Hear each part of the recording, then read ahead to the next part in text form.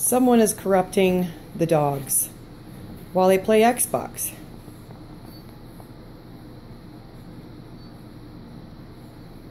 The corruption. Yes, you're corrupting my dogs. You're corrupting the dogs. I don't think I am. Whatever. I think they're just enjoying what everyone else does. No. The world's most popular entertainment. Well, let him enjoy it. Give him that Xbox controller. You just let him enjoy that game, Jack. Come on. Huh, Ziggy? You just want to run the controller all by your lonesome. You just want to fly the ship too. Tell him. Give me the controller, Jack.